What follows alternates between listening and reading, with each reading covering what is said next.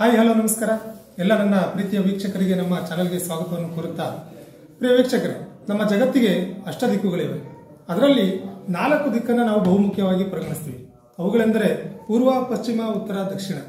ಅದರಂತೆ ನಮ್ಮ ಪ್ರಜಾಪ್ರಭುತ್ವದ ವ್ಯವಸ್ಥೆಯಲ್ಲೂ ಕೂಡ ನಾಲ್ಕು ಅಕ್ಷರಗಳ ಒಂದು ಪದ ಇದೆ. ಅದುವೇ ರಾಜಕೀಯ. ರಾಜಕೀಯ ಅಂದರೆ ಏನು? ರಾಜಕೀಯ ಅಂದರೆ ಒಬ್ಬ ರಾಜ ಜನತೆಯ ಕೀರ್ತಿಗಾಗಿ ಯತ್ನವನ್ನು ಮಾಡುವುದೇ ನಿಜವಾದ ರಾಜಕೀಯ ಅನ್ನಬಹುದು. ಆದರೆ ಈಗಿನ ನಮ್ಮ ವ್ಯವಸ್ಥೆಯಲ್ಲಿ ಬಂಡವಾಳವನ್ನು ಹಾಕಿ ಲಾಭವನ್ನು ಪಡೆಯುವಂಥ ವ್ಯವಸ್ಥೆಯಾಗಿದೆ. ಆದರೂ ಕೂಡ ನಮ್ಮ ಸುತ್ತಮುತ್ತ ಕೆಲವು ವ್ಯಕ್ತಿಗಳು ಸಿಗ್ತಾ ಹೋಗ್ತಾರೆ. ಇವರು ತಮ್ಮದೇ ಆದಂಥ ಒಂದು ಶೈಲಿಯಲ್ಲಿ ಕೆಲಸ ಕಾರ್ಯಗಳನ್ನು ಮಾಡಿ ಸಮಾಜಕ್ಕೆ ಒಂದು ಕೊಡುಗೆಯನ್ನು ಕೊಟ್ಟು ಜನರ ಪ್ರೀತಿ ಹಾಗೂ ಮೆಚ್ಚುಗೆಗೆ ಪಾತ್ರರಾಗಿರ್ತಾರೆ. ಇಂಥವ್ರನ್ನ ಗುರುತಿಸಿ, ಪರಿಗಣಿಸಿ ನಿಮ್ಮೆಲ್ಲರ ಮುಂದೆ ತರುವುದೇ ನಮ್ಮ ಮೂಲ ಉದ್ದೇಶ. ಸೊ ಇವತ್ತಿನ ನಮ್ಮ ಸಂದರ್ಶನದಲ್ಲಿ ಬಳ್ಳಾರಿ ಜಿಲ್ಲೆಯ ಸಿರುಗುಪ್ಪ ವಿಧಾನಸಭಾ ಕ್ಷೇತ್ರದ ಹಾಲಿ ಶಾಸಕರು ಹಾಗೂ ಮುಂದೆ ಬರ್ತಕ್ಕಂತಹ ಸಾರ್ವತ್ರಿಕ ವಿಧಾನಸಭಾ ಚುನಾವಣೆಯ ಬಿಜೆಪಿ ಪಕ್ಷದ ಅಭ್ಯರ್ಥಿ ಹಾಗೂ ಈ ಕ್ಷೇತ್ರದ ಜನಸ್ನೇಹಿ ನಾಯಕರಾದಂತಹ ಸನ್ಮಾನ್ಯ ಶ್ರೀ ಎಂ ಎಸ್ ಸೋಮಲಿಂಗಪ್ಪ ಅವರು ನಮ್ಮ ಉಪಸ್ಥಿತರಿದ್ದಾರೆ. ಇವರಿಗೆ ನಮ್ಮ politicians in India dot com ಪರವಾಗಿ ಆರ್ಥಿಕ ಸ್ವಾಗತವನ್ನು ಕೋರೋಣ. ಸರ್, ನಮಸ್ಕಾರ. ಸರ್, ಮೊದಲನೇದಾಗಿ ಕೇಳೋದಾದ್ರೆ ತಾವು ಈ ಒಂದು ಭಾಗದಲ್ಲಿ ಸಾಕಷ್ಟು ಚಿರಪರಿಚಿತರಿದ್ದೀರಿ. ಆದರೂ ಕೂಡ ನಾವು ಕೇಳೋದಾದ್ರೆ ತಮ್ಮದೇ ಆದಂತಹ ಒಂದು ಸಣ್ಣ ಕಿರು ಕಿರು ಪರಿಚಯ ಕೊಡಿ ಸರ್. ಯಾವ ರೀತಿ ತಾವು ರಾಜಕೀಯಕ್ಕೆ ಪಾದಾರ್ಪಣೆ ಮಾಡಿದ್ರಿ ಅಂತ? ನಾನು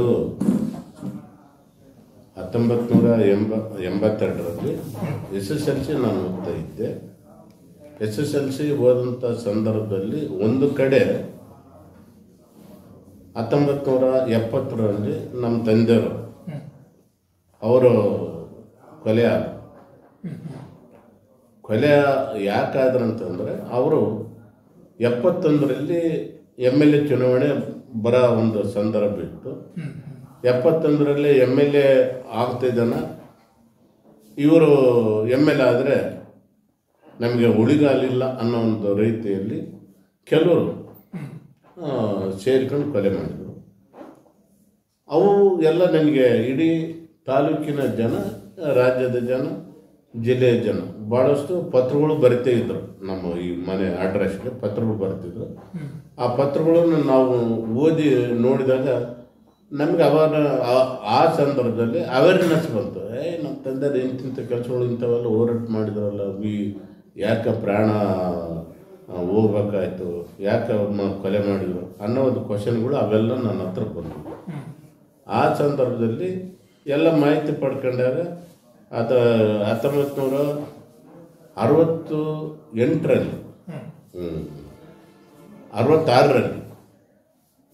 ಚಿತ್ರದುರ್ಗ ಭೀಮಪ್ಪ ನಾಯ್ಕ ಅಂತ ಅವರು ಹೌಸಿಂಗ್ ಬೋರ್ಡ್ ಚೇರ್ಮನ್ನೂ ಇದು ಆಗಿದ್ದರು ಅವರು ಕೋಆಪ್ರೇಟಿವ್ ಮಿನಿಸ್ಟ್ರೂ ಆಗಿದ್ದರು ಅವರು ಸ್ವಾತಂತ್ರ್ಯ ಹೋರಾಟಗಾರರು.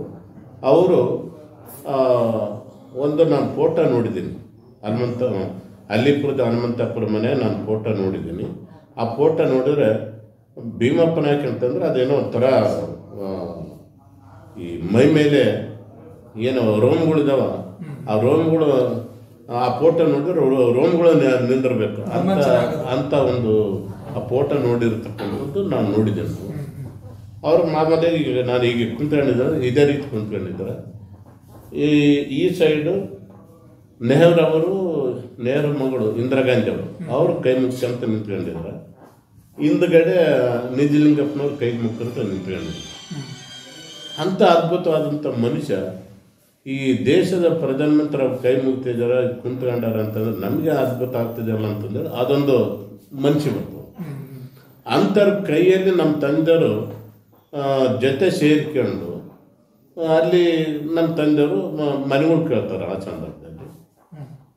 ಅವರು ಕೋಆಪ್ರೇಟಿವ್ ಮಿನಿಸ್ಟ್ರು ಮತ್ತು ಹೌಸಿಂಗ್ ಬೋರ್ಡ್ ಚೇರ್ಮನ್ ಆ ಸಂದರ್ಭದಲ್ಲಿ ನಮ್ಮ ತಂದೆಯನ್ನು ಅವರು ಸುಮಾರು ಎಂಟನೇ ಕ್ಲಾಸ್ ಓದಿದ್ರು ಅಂತ ಹೇಳ್ತಾ ಇದ್ದಾರೆ. ಅವರು ತಮಿಳು ಹಿಂದಿ ಇಂಗ್ಲೀಷು ಇವೆಲ್ಲ ಬರ್ತಿದ್ವು ನಮ್ಮ ತಂದೆ.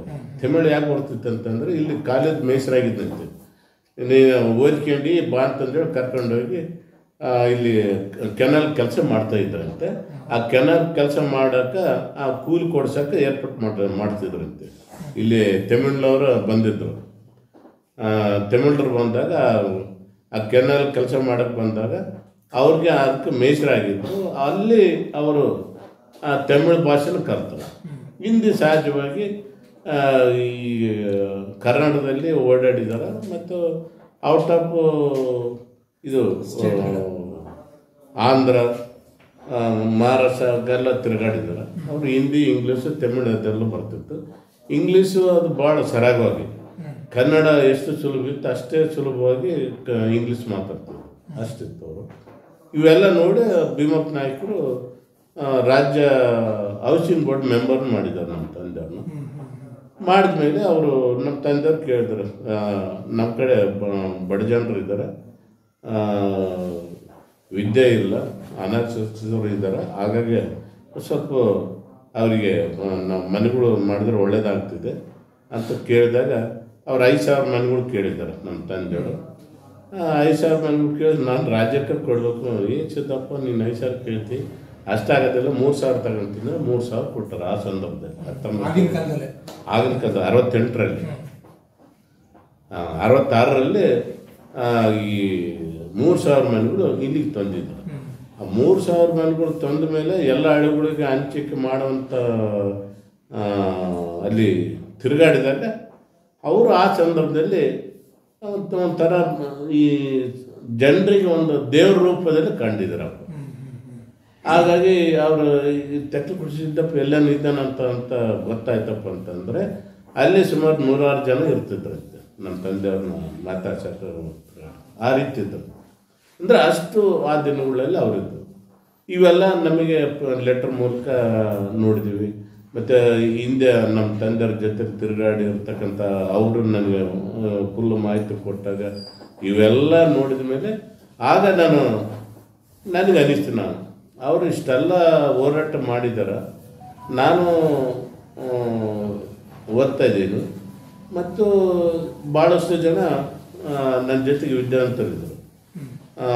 ಎಂಬತ್ತ್ಮೂರರಲ್ಲಿ ಈ ಹಿಂದುಳಿದ ವರ್ಗಗಳ ಅಲ್ಪಸಂಖ್ಯಾತರ ಒಂದು ವೇದಿಕೆನ ಮಾಡಿದ್ವಿ ಜಿಲ್ಲೆಯಲ್ಲಿ. ಒಂದು ಮೂವತ್ತೈದು ನಲವತ್ತು ಜನ ಸೇರಿ ಒಂದು ವೇದಿಕೆ ಮಾಡಿದ್ವಿ. ಆ ವೇದಿಕೆಯಲ್ಲಿ ನಾನು ಚಟುವಟಿಕೆ ಭಾಳ ವಹಿಸ್ತಾ ಇದ್ದೆ. ಇವೆಲ್ಲ ನೋಡ ಇನ್ನು ನನಗೆ ಇನ್ನು ಇನ್ನೂ ಜಾಸ್ತಿ ಓಡಾ ಓಡಾಟ ತಿರುಗಾಟ ನಡೆ ನುಡಿಗಳು ಅದೆಲ್ಲ ಹೆಚ್ಚಾಯಿತು. ಅದಾದಮೇಲೆ ನಮ್ಮ ತಂದೆಯವರು ಅರವತ್ತರಲ್ಲಿ ಹಾಸ್ಟೆಲನ್ನು ಸ್ಥಾಪನೆ ಮಾಡಿದ್ರು. ಅವ್ರು ಹಾಸ್ಟೆಲನ್ನು ಸ್ಥಾಪನೆ ಮಾಡಿದಾಗ ಅವರು ಕೊಲೆ ಆದ ನಂತರ ಆ ಹಾಸ್ಟೆಲ್ ನೋಡ್ಕೊಂಬೋರು ಇದ್ದಿಲ್ಲ. ನಾನು ಎಂಬತ್ತ್ಮೂರರಲ್ಲಿ ಆ ಹಾಸ್ಟೆಲ್ನ ನನ್ನ ವಶಕ್ಕೆ ತೆಗೆದುಕೊಂಡು ಆ ಹಾಸ್ಟೆಲ್ನ ನಡೆಸ್ಕೊಂತ ಬಂದೆ. ಮತ್ತಿನ್ನ ಜನ ಹೆಚ್ಚೆಚ್ಚಿಗೆ ನನ್ನ ಒಂದು ಕಾಣೋದು ಇನ್ನು ಈ ಥರ ಈ ಥರ ಚಟುವಟಿಕೆಗಳು ಪಂಚಾಯತಿಗಳು, ಇನ್ನೂ, ಇನ್ನೊಂದು ಮುಂದೊಂದು ಅವೆಲ್ಲ ಇನ್ನು ನೋಡೋಕ್ಕೆ ಸಾಧ್ಯ ಆಯಿತು. ಅದಾದ ನಂತರ ನಾನು ಹತ್ತೊಂಬತ್ತು ನೂರ ತೊಂಬತ್ತೊಂದರಲ್ಲಿ ಪುರುಷರಿಗೆ ನಿಂತ್ಕೊಂಡೆ ತಕ್ಷಪುಟ್ ಪುರುಷರು. ನಿಂತಂಥ ಸಂದರ್ಭದಲ್ಲಿ ಸುಮಾರು ಹದಿನೈದು ಸೀಟ್ಗಳಿದ್ವು. ಹದಿನೈದು ಸೀಟ್ಗಳಿದ್ದಾಗ ಏನೋ ಒಂದು ಒಂದು ಇಲ್ಲಿ ತೆಕ್ಕಲಕೊಟ್ಟಿಲಿ ಒಂದು ಬೇರೆ ರೀತಿಯಲ್ಲಿ ಗಾಳಿ ಬೀಸ್ತಾ ಇತ್ತು. ಅಲ್ಲಿ ಆ ಸಂದರ್ಭದಲ್ಲಿ ನಾವು ಮತ್ತು ನಮ್ಮ ತಾಯರು ನಿಂತ್ಕೊಂಡ್ವಿ. ಆ ಆ ಸಂದರ್ಭದಲ್ಲಿ ಹದಿನೈದಕ್ಕೆ ಹದಿನೈದು ಅಪೋಸಿಟ್ ಅಂದರೆ ಜನತಾ ದಳದವ್ರನ್ನ ಸೋಲಿಸಿ ಕಾಂಗ್ರೆಸ್ನವರು ಅವತ್ತು ನಾನು ಕಾಂಗ್ರೆಸ್ ಹದಿನೈದಕ್ಕೆ ಹದಿನೈದು ಸೀಟು ನಾವು ನಾವು ತಗೊಂಡ್ವಿ ಮತ್ತು ನಮ್ಮ ತಾಯಿನ ಜೊತೆಗೆ ನಾನು ನಿಂತು ಹದಿನೈದಕ್ಕೆ ಹದಿನೈದು ತಗೊಂಡ ಮೇಲೆ ಆಗ ಮತ್ತೆ ನಾನು ನಾನು ಅಧ್ಯ ಅಧ್ಯಕ್ಷ ಆದೆ ಹತ್ತೊಂಬತ್ತು ನೂರ ಆ, ತೊಂಬತ್ತು ತೊಂಬತ್ತೆರಡರಲ್ಲಿ ಅಧ್ಯಕ್ಷ ನಾನು ಪುರಸಭೆ ಅಧ್ಯಕ್ಷ ಪುರಸಭೆ ಅಧ್ಯಕ್ಷ. ಪುರಸಭೆ ಅಧ್ಯಕ್ಷ ಆದಮೇಲೆ ಅವಾಗ ಮತ್ತೆ ಇನ್ನೂ ರಾಜಕೀಯ ಚಟುವಟಿಕೆ ಇನ್ನೂ ಜಾಸ್ತಿ ಆಯ್ತು. ಮತ್ತು ಮುಖ್ಯಮಂತ್ರಿಗಳು ಇದ್ದರು ಬಂಗಾರಪ್ಪ ಅವರು ನಾನು ಪುರಸಭೆ ಇದ್ದಾಗ ಅವ್ರನ್ನ ನಾನು ಬೆಟ್ಟು ಮಾಡಿದೆ. ಬೆಟ್ಟು ಮಾಡಿದ್ಮೇಲೆ ಅವರು ನಾನು ಗ್ರ್ಯಾಂಟ್ ಕೇಳಿದೆ. ಅವ್ರ ತಕ್ಷಣ ಅವತ್ತು ಐದು ಲಕ್ಷ ಅಂದರೆ ಈಗಿನ ಐದು ಲಕ್ಷ ಅಂದರೆ ಮಾಮೂಲು ಅಂತ ಅನ್ಕೊಂಡು ಅವತ್ತು ಐದು ಲಕ್ಷ ಅಂದರೆ ಐದು ಕೋಟಿ ಇದ್ದಾರೆ. ಐದು ಕೋಟಿ ಇದ್ದಾಗ ಹಾಂ.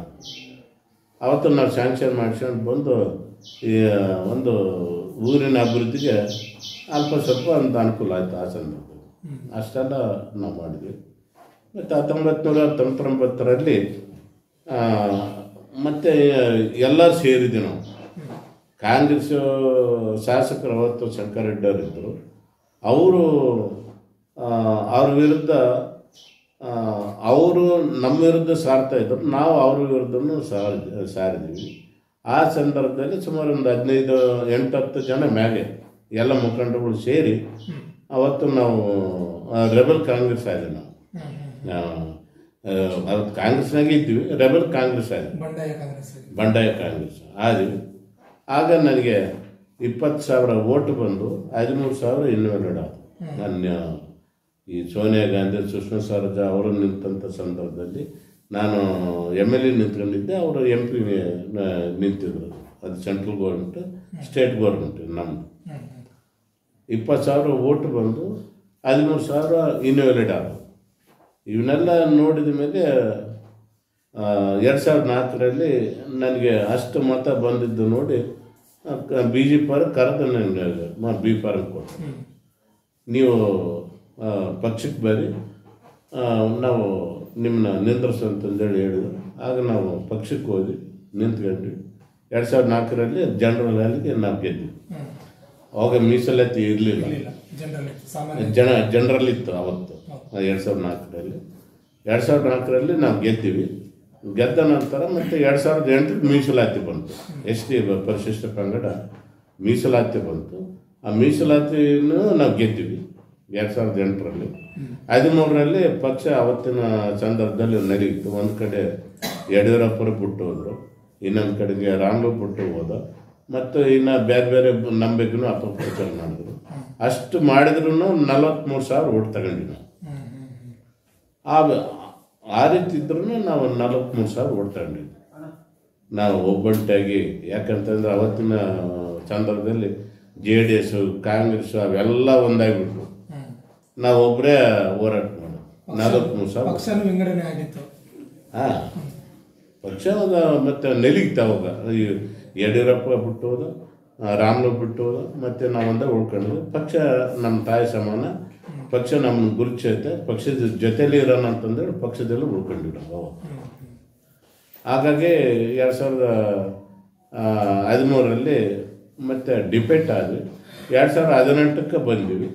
ಎರಡು ಸಾವಿರ ಹದಿನೆಂಟರಲ್ಲಿ ನಾವು ಗೆದ್ವಿ ಗೆದ್ದ ನಂತರ ಹದಿಮೂರರಿಂದ ಹದಿನೆಂಟರವರೆಗೆ ಸತತವಾಗಿ ಅವತ್ತು ನಾನು ಪರಿಶಿಷ್ಟ ಪಂಗಡ ಮೋರ್ಚಾ ಅಧ್ಯಕ್ಷ ಇದ್ದ. ಎಷ್ಟು ಮೋರ್ಚಾ ಅಧ್ಯಕ್ಷ ಇದ್ದ ರಾಜ್ಯ. ರಾಜ್ಯದ ಜವಾಬ್ದಾರಿ ಕೊಟ್ಟಿದ್ದರು ಪರಿಶಿಷ್ಟ ಪಂಗಡ ಅಧ್ಯಕ್ಷ ಇದ್ದೆ ಅವತ್ತು ನಾವು ಅವರು ಪಕ್ಷ ಅಷ್ಟು ನನಗೆ ನನ್ನ ಗುರುತಿಸಿದ ಆ ಸಂದರ್ಭದಲ್ಲಿ. ಅವತ್ತು ನಾವು ಎಲ್ಲ ಕಡೆಗೆ ಓಡಾಡಿ ತಿರುಗಾಡಿ ಒಂದು, ನಮ್ಮ ಒಂದು ವಿಚಾರಗಳನ್ನು ಜನರ ಜೊತೆಯಲ್ಲಿ ಎಲ್ಲ ನಾವು ಮಾತಾಡಿದ್ದು ನೋಡಿ, ಅವತ್ತು ಐದು, ಸತತ ಐದು ವರ್ಷ ನಾವು ಎಡೆ ಬಿಡದೆ, ಮನೆಯಲ್ಲಿ ಕುಂದರ್ಲಾರದೆ ನಾವು ಒಳ್ಳೆಯ ರೀತಿಯಲ್ಲಿ ಐದು ವರ್ಷ ವಿರೋಧ ಪಕ್ಷದಲ್ಲಿದ್ದು, ವಿರೋಧ ಪಕ್ಷದವ್ರನ್ನ ಅವರು ಆ್ಯಕ್ಚುಲಿ ನಾವು ನಮ್ಮನ್ನು ವಿಮರ್ಶಿಸ್ಬೇಕಾಗಿತ್ತು ನಾವು ವಿರೋಧ ಪಕ್ಷದಲ್ಲಿ ಇರ್ತಕ್ಕಂಥವ್ರು ನಮ್ಮನ್ನ ವಿಮರ್ಶಿಸಬೇಕಾಗಿತ್ತು ಅವತ್ತು ಸರ್ಕಾರ ಇತ್ತು. ಸಿದ್ದರಾಮಯ್ಯನ ಸರ್ಕಾರ ಇತ್ತು. ಸಿದ್ದರಾಮಯ್ಯ ಸರ್ಕಾರದಲ್ಲಿ ನಮ್ಮ ಬಿ ಎಂ ನಾಗರಾಜ್ ಇದ್ದ. ಅವರು ನಮ್ಮನ್ನು ವಿಮರ್ಶಿಸ್ಬೇಕಾಗಿತ್ತು ನಾವೇ ಅವ್ರನ್ನ ವಿಮರ್ಶಿಸ್ತೀವಿ ನಾವು. ಯಾಕಂತಂದರೆ ಅವ್ರದ್ದು ಏನೋ ಮಜ ಮೋಜನಾಗ ಉಳ್ಕೊಂಡ್ರು ಐದು ವರ್ಷ. ಮತ್ತು ಅದೇನು ಗೋವಾ ಗೀವ ಅಂತ ಅಂತಿದ್ರು ಅದು. ಆಮೇಲೆ ಹನ್ನೊಂದು ಗಂಟೆಗೆ ಎದ್ದೇಳೋದು. ಮತ್ತು ಜನರಿಗೆ ಸ್ಪಂದನೆ ಕೊಡಲಾರ್ದಂಗೆ ಇರೋದು. ಮೊಬೈಲ್ಗಳು ಎತ್ತಲಾರ್ದಂಗೆ ಇರೋದು. ಅವೆಲ್ಲ ಅವರು ಅವ್ರ ಹತ್ರ ಅವ ಆಗ ಉಳ್ಕೊಂಡು ಅವರು ಏನೋ ಆಕಸ್ಮಿಕವಾಗಿ ಎಂ ಎಲ್ ಎ ಆದ್ರು ಆ ರೀತಿ ಆಗಬೇಕು ಆಗ ನಾವು ಭಾಳ ಸ್ಪೀಡಾಗಿ ಸ್ಪೀಡಾಗಿದ್ವಿ ನಾವು. ಯಾಕಂತಂದ್ರೆ ನಾವು ನಮ್ಮ ಉದ್ದೇಶ ಏನಂತಂದ್ರೆ, ಜನರಿಗೆ ಒಳ್ಳೇದಾಗಬೇಕು, ಜನರಿಗೆ ಸಹಕಾರ ಕೊಡಬೇಕು, ಜನರ ಜೊತೆಯಲ್ಲಿ ಇರಬೇಕು. ಜನ ಒಂದು ಕ್ಷೇತ್ರದ ಒಂದು ಅಭಿವೃದ್ಧಿಗೋಸ್ಕರ ನಮ್ಮ ಹೋರಾಟನೇ, ನಮ್ಮ ಹೋರಾಟ ಅನ್ನೋ ಒಂದು ರೀತಿಯಲ್ಲಿ ನಾವು ಅವತ್ತು ಹಾಗಾಗಿ ಈಗ ಎರಡು ಸಾವಿರದ ಹದಿನೆಂಟು ಅಂದರೆ ಈಗ ಇಪ್ಪತ್ತ್ಮೂರಕ್ಕೆ ಬಂತು ಚುನಾವಣೆ. ಇಪ್ಪತ್ತ್ಮೂರದಲ್ಲಿ ಎರಡು ಸಾವಿರದ ಇಪ್ಪತ್ತ್ಮೂರಕ್ಕೆ ಈ ಚುನಾವಣೆ ಬಂದಿದೆ. ಈ ಚುನಾವಣೆನ ನಾವು ಎದುರಿಸ್ತು. ಏನು ತೊಂದರಿಲ್ಲ ಇವತ್ತು ನಮ್ಮ ರಾಜ್ಯದ ಮುಖ್ಯಮಂತ್ರಿ ಆಗಿರ್ತಕ್ಕಂಥ ಸನ್ಮಾನ್ಯ ಬಸವರಾಜ ಬೊಮ್ಮಾಯಿ ಒಳ್ಳೆ ಆಡಳಿತ ಕೊಡ್ತಾ ಇದ್ದಾರೆ. ವಿರೋಧ ಪಕ್ಷದಿದ್ರು ವಿರೋಧ ಪಕ್ಷದವರಾಗಿ ಅವರು ಮಾತಾಡ್ತಾ ಇರ್ತಾರೆ. ಅದೇನ, ನಲ್ವತ್ತು ಪರ್ಸೆಂಟ್ ಲಂಚ, ಏನೇನೋ ಹೇಳ್ತಾರೆ. ಅದು ಸುಳ್ಳು ಮಾತು. ನಲ್ವತ್ತು ಪರ್ಸೆಂಟ್ ಲಂಚ ಪಡೆದರೆ ಕೆಲಸ ಮಾಡೋದಿಲ್ಲ ಮತ್ತು ಅದು ನಲ್ವತ್ತು ಪರ್ಸೆಂಟ್ ಒಂದು ಮತ್ತು ಇದೊಂದು ಅದು ಜಿ ಎಸ್ ಟಿ ಮತ್ತು ರಾಯಲ್ಟಿ ಇವೆಲ್ಲ ಹೋದ್ರೆ ಸುಮ ಇದು ಇದೇ ನಲವತ್ತು ಆಗ್ತೈತೆ ನಲವತ್ತು ನಲವತ್ತು ಎಂಬತ್ತೈತೆ ಎಂಬ ಇಪ್ಪತ್ತು ಪರ್ಸೆಂಟ್ ಕೆಲಸ ಮಾಡೋಕ್ಕಾಗ್ತಿದೆ ಅಂದರೆ ವಿರೋಧ ಪಕ್ಷರ ವಿರೋಧ ಪಕ್ಷರಾಗೆ ಮಾತಾಡ್ತಾ ಇರ್ತಾರೆ. ಅವ್ರ ಬಗ್ಗೆನೂ ನಾವೇನು ಗಮನ ಕೊಡಂಗಿಲ್ಲ. ಈ- ವಿಚಾರಕ್ಕೆ ಬರ್ತೀನಿ. ಈಗ ಸರ್ ಒಂದು ಕ್ಷೇತ್ರದ ಬಗ್ಗೆ ಕೇಳಿದ್ರೆ ತಾವು ಒಂದು ಮೂರು ಬಾರಿ ಶಾಸಕರಾಗಿ ಕಾರ್ಯನಿರ್ವಹಿಸಿದ್ದೀರಾ? ಈಗ ಹಾಲಿ ಶಾಸಕ ಶಾಸಕರಾಗಿ ಕೂಡ ಇದ್ದೀರಾ? ತಮ್ಮ ಕ್ಷೇತ್ರದಲ್ಲಿ ತಾವು ತಮಗೆ ತೃಪ್ತಿ ತಂದಿರುವಂತಹ ಕೆಲಸ ಯಾವ್ದು ಮಾಡಿದಿರಾ ಮತ್ತೆ ಜನತೆಗೆ ತೃಪ್ತಿ ತಂದಿರೋ ಕೆಲಸ ಯಾವ್ದಿದೆ ಅಂತ ಹೇಳಿ ಬಯಸ್ತೀರಾ ಈಗ ಒಂದನ್ನು ನಾನು ಹೇಳ್ತಾ ಇದ್ದೀನಿ. ನಮ್ಮ ಕ್ಷೇತ್ರದಲ್ಲಿ ಒಂದು ರಾರ ಬ್ರಿಡ್ಜ್ ಮಾಡ್ತೀವಿ ಅದು ಸುಮಾರು ಮೂವತ್ತೈದು ಕೋಟಿ ರೂಪಾಯಿ ವೆಚ್ಚ ಇವತ್ತು ಐವತ್ತು ಕೋಟಿ ಆಯಿತು. ಅಂದರೆ ಹತ್ತು ವರ್ಷ. ನಾನು ಜಗದೀಶ್ ಶೆಟ್ಟರ್ ಅವ್ರನ್ನ ಕರ್ಕೊಂಡು ಬಂದು ಅಲ್ಲಿ ಭೂ, ಭೂಮಿ ಪೂಜೆ ಮಾಡಿಸಿದೆ. ಜಗದೀಶ್ ಶೆಟ್ಟರ್ ಅವ್ರನ್ನ ಕರ್ಕೊಂಡು ಬಂದು ಭೂಮಿ ಪೂಜೆ ಮಾಡಿದೆ. ಅವಾಗ ನಾನು ಭೂಮಿ ಪೂಜೆ ಮಾಡಿದ ಮೇಲೆ ನಾವು ನಾವು ಸೋತೀವಿ ನಾವು ಆ ಒಂದು ಐದು ವರ್ಷದಲ್ಲಿ ನಾ ಬಿ ಎಂ ನಾಗರಾಜರವರು ಅದನ್ನು ಉದ್ಘಾಟನೆ ಮಾಡ್ಬೋದಿತ್ತು. ಅವ್ರ ಕೈಲಿ ಉದ್ಘಾಟನೆ ಮಾಡೋಕ್ಕಾಗಲಿಲ್ಲ. ಇವತ್ತು ನಾನು ಉದ್ಘಾಟನೆ ಮಾಡ್ತಾ ಒಂದು- ಆ ಒಂದು ಬ್ರಿಡ್ಜು ನಾನು ಉದ್ಘಾಟನೆ ಮಾಡ್ತಾ ಇದ್ದೀನಿ ಐವತ್ತು ಕೋಟಿ ಅದು ಸಿರುಗುಪ್ಪ ಕುಡಿಯೋ ನೀರು ಕೆರೆ ಅದು ಇಪ್ಪತ್ತೆಂಟು ಕೋಟಿ ಅದು. ನಾನು ಯಡಿಯೂರಪ್ಪ ಮುಖ್ಯಮಂತ್ರಿ ಇದ್ದಾಗ ಗ್ರ್ಯಾಂಟ್ ಹಾಕ್ಸ್ಕೊಂಡಿದ್ದೆ ಅದನ್ನು.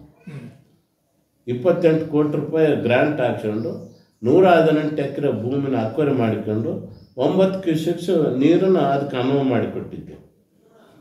ಈ ಬಾಗಡ್ ಕೆನಲ್ಲಿ ಅದೆಲ್ಲ ರೆಡಿ ಆದಮೇಲೆ ನಾವು ಪೂಜೆ ಮಾಡಬೇಕು. ಪೂಜೆ ಮಾಡೋ ಸಂದರ್ಭದಾಗ ಯಾರೋ ಕೋರ್ಟ್ಗೆ ಹೋಗಿ ಸ್ಟೇ ತಗೊಂಡು ಬಂದರು ಅದು ಅಲ್ಲಿಗೆ ನಿಂತ್ಕೊಂಡಿತ್ತು. ಅದು ಅವ್ರು ಗೆದ್ದ ಮೇಲೆ, ನಾಗರಾಜ್ ಅವ್ರು ಗೆದ್ದ ಮೇಲೆ, ಅದನ್ನು ಮೂರು ತಿಂಗಳಾಗೇನೆ ಅದನ್ನು ಅವ್ರು ಗೆದ್ದ ಮೇಲೆ ಮತ್ತೆ ಅದನ್ನ ಏನು ವಾಪಸ್ ಹಾಕೊಂಡ್ರಂತೆ ಸುದ್ದಿ ಗೊತ್ತಾಯ್ತು ಅವರ ಆಟೋಮೆಟಿಕ್ಕಾಗಿ ಆ ಒಂದು ಐದು ವರ್ಷದಾಗ ಸಿರುಗುಪ್ಪ ಕುಡಿಯೋ ನೀರಿಗೆ, ಕುಡಿಯೋ ನೀರನ್ನು ಏನು ಕೆರೆ, ಏನು ನಿರ್ಮಾಣ ಆಗಿತ್ತು. ಅದನ್ನು ಸ್ವಲ್ಪ ಜನತೆಗೆ ನೀರು ಕೊಡ್ಬೋದಿತ್ತು. ಕೊಡೋಕ್ಕಾಗಲಿಲ್ಲ ಮತ್ತು ಇವತ್ತು ನಾನು ಅದನ್ನು ಮಾಡ್ತೇನೆ ಅವತ್ತು ಯಡಿಯೂರಪ್ಪಲಿಂದ ಆಕ್ಷನ್ ಬಂದಿದ್ದು ಇದು. ಇದನ್ನ ನಾನು ಉದ್ಘಾಟನೆ ಮಾಡ್ತಾ ಇದ್ದೀನಿ. ಅವತ್ತು ಜಗದೀಶ್ ಶೆಟ್ಟರ್ ಅವ್ರನ್ನ ಕರ್ಕೊಂಡು ಬಂದು ಪೂಜೆ ಮಾಡಿದ್ದು ಅದು ಅವ್ರು ಉದ್ಘಾಟನೆ ಮಾಡ್ಲ ಮಾಡೋಕ್ಕಾಗಲಿಲ್ಲ. ಐದು ವರ್ಷ. ನಾನು ಉದ್ಘಾಟನೆ ಈಗ ಮಾಡ್ತಾ ಇದ್ದೀನಿ. ಅಂದರೆ ಈ ರೀತಿ. ಅಂದರೆ ನೀವೇ ಶಂಕುಸ್ಥಾಪನೆ ಮಾಡಿಸಿ ನಾವೇ ಉದ್ಘಾಟನೆ ಮಾಡ್ತೀವಿ. ಅಂದ್ರೆ ಐದು ವರ್ಷ ಅವ್ರು ಫ್ರೀಯಾಗಿ ಮಜ ಮೋಜನಾಗಿ ಉಳ್ಕೊಂಡ್ಬಿಟ್ರೆ ಅನ್ನೋ ಒಂದು ಸುದ್ದಿ. ಹೇಳ್ತಾರ. ಮನೆಯಲ್ಲೇ ಇದ್ರೂ ಇಲ್ಲ ಅಂತ ಹೇಳೋದು. ಮತ್ತು, ಹತ್ತುವರೆಲಿಂದ ಹನ್ನೊಂದು ಗಂಟೆಗೆ ಹನ್ನೊಂದು ಗಂಟೆಗೆ ಎದ್ದೇಳೋದು. ಹನ್ನೊಂದು ಗಂಟೆಗೆ ಎದ್ದು ಟೀ ಕುಡಿಯೋದು. ಈ ರೀತಿ ಸಾರ್ವಜನಿಕರ ವ್ಯವಸ್ಥೆಯಲ್ಲಿ ಆ ರೀತಿ ಇದ್ದರೆ ಜನ ಯಾವ ರೀತಿ ನಂಬಲಿಕ್ಕೆ ಸಾಧ್ಯ ಆಗ್ತದೆ? ಆ ರೀತಿ ಇದ್ದರು ಮತ್ತು ಬ್ರಿಡ್ಜ್ ಕಮ್ ಬ್ಯಾರೇಜ್ ನಮ್ಮ ಮುಜನೂರು ಬಲ್ಕುಂದ ಹತ್ರ ಬ್ರಿಜ್ ಬ್ರಿಡ್ಜ್ ಕಮ್ ಬ್ಯಾರೇಜ್ ಅವರು ನಮ್ಮ ಈಗಿನ ಮುಖ್ಯಮಂತ್ರಿ ಇರ್ತಕ್ಕಂಥ ಬಸವರಾಜ ಬೊಮ್ಮಾಯಿ ಅವರು ಅವ್ರ ಹತ್ರ ಸುಮಾರು ಮೂವತ್ತೈದು ಕೋಟಿ ರೂಪಾಯಿ ವೆಚ್ಚದು ಈಗ ಅದು ನಲವತ್ತು ಕೋಟಿ ಆಯಿತು. ಲಾಸ್ಟಿಗೆ ಅದನ್ನು ಪೂಜೆ ಮಾಡೋ ಸಂದರ್ಭಕ್ಕೆ ನಲವತ್ತು ಕೋಟಿ ಆಯಿತು. ಈಗ ಅಲ್ಲಿ ಭಾಳ ಸ್ಪೀಡಪ್ ಆಗ್ತಾ ಇದೆ ಕೆಲಸ.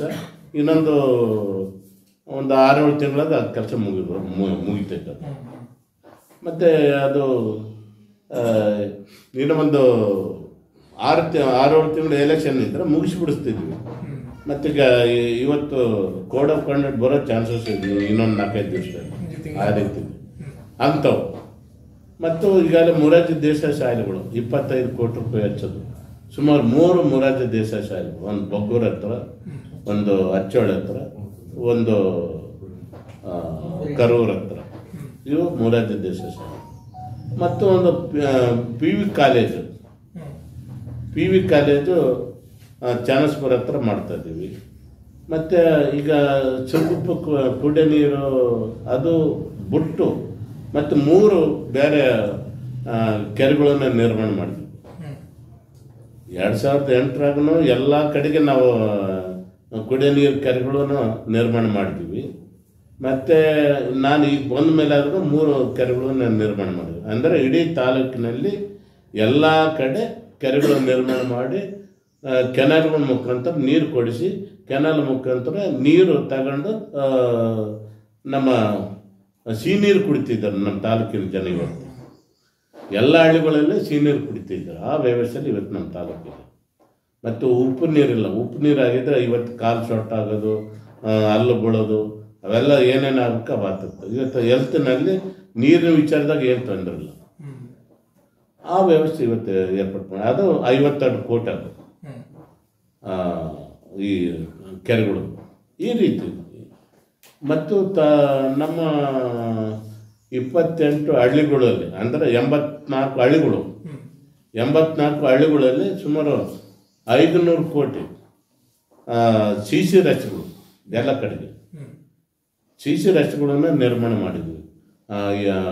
ಸುಮಾರು ಅಂದಾಜು ಐನೂರು ಕೋಟಿ ಆಗ್ಬೋದು ಎಂಬತ್ನಾಲ್ಕು ಹಳ್ಳಿಗಳಲ್ಲಿ.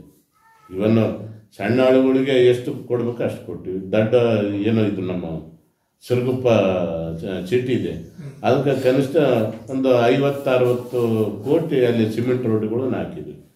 ತೆಕ್ಕಲಕೋಟೆ ಇದೆ. ಇಲ್ಲಿ ಒಂದು ಮೂವತ್ತು ನಲ್ವತ್ತು ಕೋಟೆ ತೆಕ್ಕಲಕೋಟೆಗೆ ಹಾಕಿದ್ವಿ ಸಿ ಸಿ ರೋಡ್. ಅಷ್ಟೆಲ್ಲ ಇವತ್ತು ನಾವು ಇದು ಮಾಡಿದ್ವಿ.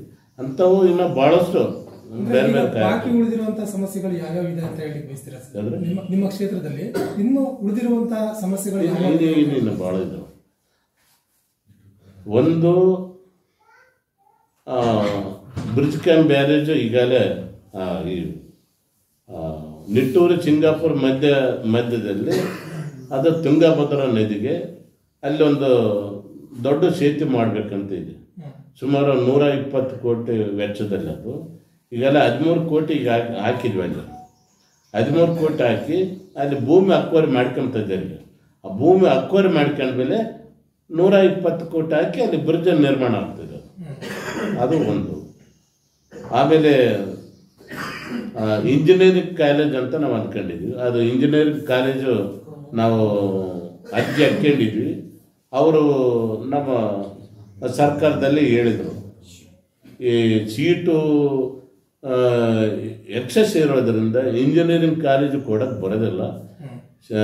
ಹಾಗಾಗಿ ಸೀಟು ಏನಾದರೂ ಕಡಿಮೆ ಇದ್ದಿದ್ರೆ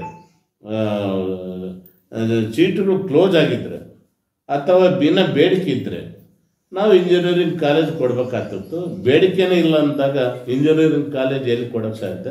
ಅದಕ್ಕೆ ಕೊಡೋಕ್ಕಾಗೋದಿಲ್ಲ ಅಂತಂದೇಳಿ ಅವ್ರು ಹೇಳಿದ್ರು. ಮುಂದೆ ಅದು ಒಂದು ಡೆವಲಪ್ಮೆಂಟ್ ಸಲುವಾಗಾದ್ರೂ ಕೊಡ್ಬೇಕಂತ ನಾವು ಹೇಳಿದ್ವಿ. ಅವರು ಅವರು ಆ- ಕೆಲಸ ಮುಂದಿನ ದಿನಗಳಲ್ಲಿ ಮಾಡ್ಬೋದು. ಒಂದು ನವೋದಯ ಸ್ಕೂಲ್ ಮಾಡ್ಬೇಕಂತ ಇದೆ ಅದನ್ನು ಮಾಡಬೇಕು ಅದನ್ನು ಇಟ್ಕೊಂಡಿದ್ವಿ. ಮತ್ತು ಬೇರೆ ಬೇರೆ ನಮ್ಮ ತಾಲೂಕಿನ ಜನ ಏನು ದೊಡ್ಡ ದೊಡ್ಡ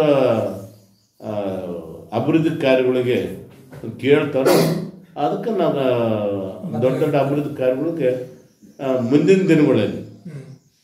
ಮುಂದಿನ ದಿನಗಳಲ್ಲಿ ಜನರ ಆಶೀರ್ವಾದ ಇದ್ದರೆ ಗೆದ್ದೆ ಗೆಲ್ತೀವಿ ಗೆದ್ದ ನಂತರ ಜನರು ಏನು ಬೇಡಿಕೆ ಇಡ್ತಾರೋ ಆ ಬೇಡಿಕೆ ತಕ್ಕಂತೆ ಅಭಿವೃದ್ಧಿ ಕಾರ್ಯಗಳನ್ನು ಮಾಡಲಿಕ್ಕೆ ಸಾಧ್ಯ ಸಾಧ್ಯ ಆಗ್ತದೆ. ಖಂಡಿತ. ಸರ್ ಈಗ ತಾವು ಚುನಾವಣಾ ದೃಷ್ಟಿಯಿಂದ ಎಲ್ಲ ಒಂದು ಕ್ಷೇತ್ರದಾದ್ಯಂತ ಓಡಾಡ್ತಾ ಇದ್ದೀರಾ? ಜನ ಏನು ಕೇಳ್ತಾರೆ ಏನು ಬಯಸ್ತಾರೆ ನಿಮ್ಮಿಂದ?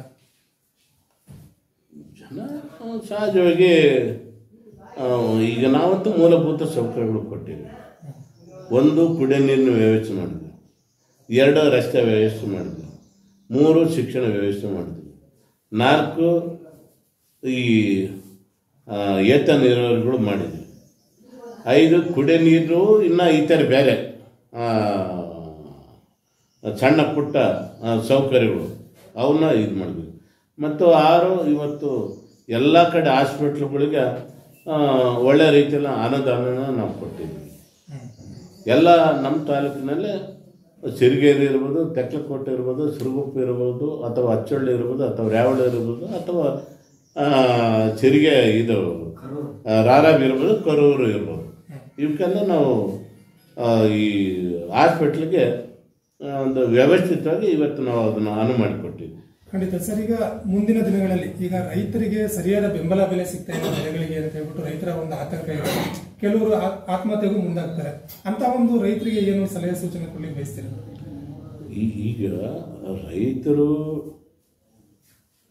ಬೆಂಬಲ ಬೆಲೆ ಕೊಡಕ ಈಗಾಗಲೇ ಸರ್ಕಾರ, ಈ ಕೇಂದ್ರ ಸರ್ಕಾರ ಏನು ವ್ಯವಸ್ಥೆ ಆಗಬೇಕು, ಆ ವ್ಯವಸ್ಥೆಯಲ್ಲಿ ಇವತ್ತು ಏರ್ಪಾಟ್ ಮಾಡ್ತದೆ ಈಗ ಹದಿನೆಂಟು ನೂರ ಇತ್ತು. ಈಗ ಎರಡು ಸಾವಿರಕ್ಕೆ ದ ಬೆಂಬಲ ಬೆಲೆ ಘೋಷಣೆ ಮಾಡಿದೆ ಭತ್ತ. ಇನ್ನು ಥರ ಈ ಥರ ಬೇರೆ ಬೇರೆ ರೀತಿಯಲ್ಲಿ ಈ ಬೆಂಬಲ ಬೆಲೆಗೆ ಹೆಚ್ಚೆಚ್ಚಿಗೆ ಮಾಡಿಕೊಟ್ಟಿದ್ದಾರೆ. ರಾಗಿಗೆ ಕೊಟ್ಟಿದ್ದಾರೆ. ರಾಗಿಗೂ ಕೊಟ್ಟಿದ್ದಾರೆ. ಮತ್ತು ಜೋಳಕ್ಕೂ ಕೊಟ್ಟಿದ್ದಾರೆ ಬೆಂಬಲ ಬೆಂಬಲ ಬೆಲೆಗೆ. ಭಾಳಷ್ಟು ಕೊಟ್ಟಿದ್ದಾರೆ. ನಮ್ಮ ರೈತರದು, ಅವರು ಒಂದು ಈ ಬೆಂಬಲ ಬೆಲೆ ಸಮಯ ಬಂದಾಗ ಕೆಲವೊಂದು ಸಂದರ್ಭದಾಗ ಏರ್ಪೇರು ಆಗ್ಬೋದು. ಆದರೆ ರೈತರು ಮನಸ್ಸು ಧೈರ್ಯ ಇರ್ಬೇಕು, ಧೈರ್ಯ ಇರಬೇಕು. ಧೈರ್ಯದಿಂದ ಮುನ್ನೋಗ್ಬೇಕು. ಭೂತಾಯಿ ಇವತ್ತಿಲ್ಲ, ನಾಳೆ ಅದಕ್ಕೆ ಒಳ್ಳೇದು ಮಾಡೇ ಒಳ್ಳೇದಾಗೇ ಆಗ್ತದೆ. ಭೂತಾಯಿ ಇವತ್ತಿಲ್ಲ, ನಾಳೆ ಸಹಕಾರ ಸಿಕ್ಕೇ ಸಿಗ್ತದೆ ಈಗ ಇವತ್ತು ನಾವು ಭೂತಾಯಿನ ನಾವು ನಂಬಿಕೆ ಇಟ್ಕೊಂಡಿದ್ವಿ ಓದೋ ಬೆಳೆ ನಮಗೆ ಅದೇ ಭತ್ತದ ತಗೊಂಡ್ರೆ ಹದಿನೈದು ಇಪ್ಪತ್ತು ಸಾವಿರ ರೂಪಾಯಿ ಉಳಿದು ಎಕರೆಗೆ. ಭತ್ತದ ತಗೊಂಡ್ರೆ ಹದಿನೈದು ಇಪ್ಪತ್ತು ಸಾವಿರ ಉಳಿದು. ಅದಕ್ಕಿಂತ ಮೊದಲು ಐದು ಸಾವಿರ ಆರು ಸಾವಿರ ಏಳು ಸಾವಿರ ಹಿಂಗೆ ನಷ್ಟ ಆಗ್ತಿತ್ತು. ಆದ ಕಾಲಕ್ಕೂ ಹೊಟ್ಟೆ ಬಟ್ಟೆಗೇನು ಕೆಟ್ಟೋಗಿಲ್ಲ. ಹೊಟ್ಟೆ ಬಟ್ಟೆಗೇನು ತೊಂದರೆ ಆಗಿಲ್ಲ. ಮತ್ತು ಇನ್ನೂ ಹೆಚ್ಚಿಗೆ ಮಾಡಬೇಕಂತ ಅನ್ಕೊಳ್ಳೋಕ್ಕೂ ಆಗೋದಿಲ್ಲ. ಯಾಕಂತಂದರೆ ಇವತ್ತು ಸರ್ಕಾರ ಎಲ್ಲ ರೀತಿಯಲ್ಲಿ ಫ್ರೀ ಕೊಡೋ ಒಂದು ವ್ಯವಸ್ಥೆ ಏರ್ಪಾಡು ಮಾಡಿದೆ ಎಜುಕೇಷನ್ಗೆ ಫ್ರೀ ಕೊಡ್ತಾ ಇದೆ. ಸಾಲ ಸೂಲಿ ಇವು ಬ್ಯಾಂಕ್ ಮುಖಾಂತರ ಕೊಡ್ತಾ ಇದೆ. ಇನ್ನು ಸಬ್ಸಿಡಿ ಅಥವಾ ಈ ಅಕ್ಕಿ ಇನ್ನು ಇತರ ಇತರ ದವಸ ಧಾನ್ಯಗಳನ್ನು ಈ ಒಂದು ಆ, ನ್ಯಾಯಬೆಲೆ ಅಂಗಡಿ ಮುಖಾಂತರ ಕೊಡ್ತಾ ಇದೆ. ಮತ್ತು ಮಕ್ಕಳಿಗೆ ಶಿಕ್ಷಣ ವ್ಯವಸ್ಥೆಗೆ ಹಾಸ್ಟೆಲ್ಗಳು ಮತ್ತು ಮೂರಾರ್ಜಿ ದೇಶ ಶಾಲೆಗಳು ಇಂಥವೆಲ್ಲ ಇದಾವೆ. ಆ ವಿದ್ಯಾರ್ಥಿಗಳನ್ನು ಫ್ರೀಯಾಗಿ ಊಟ ಮಾಡಲಿಕ್ಕೆ ಸಾಧ್ಯ ಆಗಿದೆ. ಎಲ್ಲ ರೀತಿಯಲ್ಲಿ ಸರ್ಕಾರ ವ್ಯ- ವ್ಯವಸ್ಥಿತವಾಗಿ ಮಾಡ್ತಾ ಇದೆ. ಒಂದೇನಂದ್ರೆ ಬೆಂಬಲ ಬೆಲೆ ರೈತರಿಗೆ ಇಲ್ಲ ಸರಿಯಾದ ರೀತಿಯಲ್ಲಿ ಮುಟ್ತಾ ಇಲ್ಲ. ಮುಂದಿನ ದಿನಗಳಲ್ಲಿ ಇವತ್ತೆಲ್ಲ ನಾಳೆ ಸರಿಪಡಿಸ್ತಾರೆ. ತೊಂದರೆನಾಗೋದಿಲ್ಲ ಯಾಕಂತಂದರೆ ರೈತರದ್ದು ಒಂದು ಕೂಗಿದೆ. ರೈತರ ಕೂಗು ಒಂದಿದೆ. ನಾವು ಎಷ್ಟು ದುಡಿದ್ರೂ ನಮಗೆ ಬೆಂಬಲ ಬೆಲೆ ಸಿಗ್ತಾ ಇಲ್ಲ. ಬೆಲೆ ನಾವು ಬಂದಂಥ ದವಸ ಧಾನ್ಯ ಮಾರ್ಕೆಟ್ಗೆ ಹೋದರೆ ಮಾರ್ಕೆಟ್ನಲ್ಲಿ ಬೆಲೆ ಸಿಗೋದಿಲ್ಲ. ಮತ್ತು ಬೆಳೆ ಬಂದಾಗ, ಆ, ಬೆಲೆನ ಬೆಲೆ ಕುಸಿದೋಗ್ಬಿಡ್ತದೆ ಆ ವ್ಯವಸ್ಥೆ ಇದೆ ಅಂತಂದೇಳಿ ರೈತರ ಕೂಗಿದೆ. ಅದು ಇವತ್ತೆಲ್ಲ ನಾಳೆ ಸೆರೆ ಹೋಗ್ತಿದೆ. ಖಂಡಿತ. ಸರ್, ಈಗ ಎರಡು ಸಾವಿರದ ಇಪ್ಪತ್ತ್ ಮೂರರ ಚುನಾವಣೆಗೆ ಜನತೆ ಬಿಜೆಪಿ ಪಕ್ಷಕ್ಕೆ ಏನಕ್ಕೆ ಬೆಂಬಲ ಕೊಡಬೇಕು, ಏನಕ್ಕೆ ಮತ ಕೊಡಬೇಕು ಅಂತ ಹೇಳಿದ್ ಈಗ ಈಗ ದೇಶದ ಪ್ರಧಾನಮಂತ್ರಿ ನರೇಂದ್ರ ಮೋದಿಯವರ ವಿಚಾರ ಎತ್ತಿದ್ರೆ, ಅವರು ಭಾಳಷ್ಟು ಬರೇ ನಮ್ಮ ದೇಶದಲ್ಲೆಲ್ಲ ಇಂಟರ್ನ್ಯಾಷನಲ್ ಮಟ್ಟಕ್ಕೆ ಹೋಗಿದ್ದಾರೆ ಅವರು. ನಾವೇನು ಬ್ಯಾ ಇಂದಿರಾ ಗಾಂಧಿ ಅವ್ರಿವ್ರು ಹೋಗಿಲ್ಲ ಅಂತ ನಾವೇನು ಹೇಳ್ತಾ ಇಲ್ಲ. ಇವರು ಇಂಟರ್ನ್ಯಾಷನಲ್ ಮಟ್ಟಕ್ಕೆ ಹೋಗಿದ್ದಾರೆ. ಇಂಟರ್ನ್ಯಾಷನಲ್ಲಿ ನಲ್ಲಿ ಇರತಕ್ಕಂಥ ರಷ್ಯಾ, ಅಮೇರಿಕಾ ಚೈನಾ ಇಂಥ ದೇಶಗಳು ಇವತ್ತು ಭಾರತ್ ಅಂತಂದ್ರೆ ಅಗಾಧವಾದ ಒಂದು ಮನ, ಮನ್ನಣೆ ಕೊಡ್ತಾರೆ ಹಿಂದೆ ಮನ್ನಣೆ ಇದ್ದಿಲ್ಲ, ಇವತ್ತು ಮನ್ನಣೆ ಇದೆ. ಈ ದೇಶದ ಭಾರತ ದೇಶದ ಬಗ್ಗೆ ಮನ್ನಣೆ ಇದೆ ಇವತ್ತು.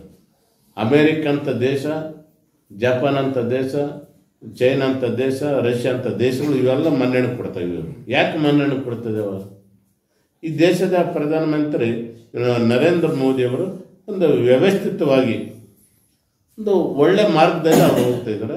ಅವ್ರಿಗೆ ನಾವು ಬೆಂಬಲ ಕೊಡ್ಬೇಕಂತ ಹೇಳ್ತಾ ಇದ್ದಾರೆ ಇವತ್ತು.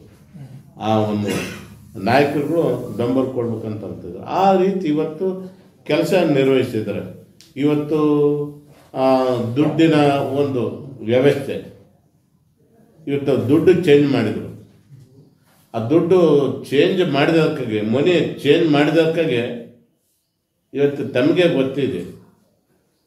ಚೇಂಜ್ ಮಾಡಿದಕ್ಕಾಗಿ ಇವತ್ತು ರಾಶಿ ರಾಶಿ ಆ ಹಣನ ಸುಟ್ಟಾಕಿದ್ರು ಅದು ಯಾಕೆ ಸುಟ್ಟಾಕಿದ್ರು ಅಂದ್ರೆ ಅದು ಬ್ಲ್ಯಾಕ್ ಮನಿ ಆಗ್ತದೆ ಗಳಿಸ್ಕೊಂಡಿದ್ದ ಹಣದ ಬ್ಲ್ಯಾಕ್ ಮನಿ ಆಗ್ತದೆ ಅದನ್ನು ಸುಟ್ಟಾಕಿದ್ರೆ. ಮತ್ತೆ ಈಗ ಅದರ ಮಾರ್ಕೆಟಿಗೆ ತಂದಿದ್ರೆ ಎಷ್ಟು ಒಳ್ಳೇದಾಗ್ತಿತ್ತು ಇಡೀ ದೇಶಕ್ಕೆ?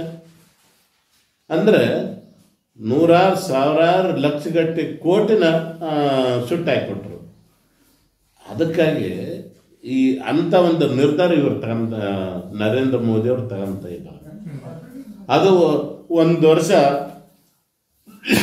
ತೊಂದರೆ ಪಡಬೇಕಾಯಿತು. ಒಂದು ವರ್ಷ ತೊಂದರೆ ಪಡಬೇಕಾಯ್ತು. ಒಂದು ವರ್ಷ. ತದನಂತರ ಏನಾಯ್ತು ಇವತ್ತು? ಸುಗಮವಾಗಿ ಇವತ್ತು ವ್ಯವಸ್ಥೆಯಲ್ಲಿ ಈ ಮನಿ ಪ್ರಾಬ್ಲಮ್ ತೆಪ್ಪೋಗಿದೆ. ದುಡ್ಡಿನ ಪ್ರಾಬ್ಲಮ್ ತೆಪ್ಪೋಗಿದೆ. ಎಲ್ಲ ಒಂದು ವ್ಯವಸ್ಥೆಯಲ್ಲಿ ಮುಂದಕ್ಕೆ ಹೋಗ್ತಾ ಇದೆ.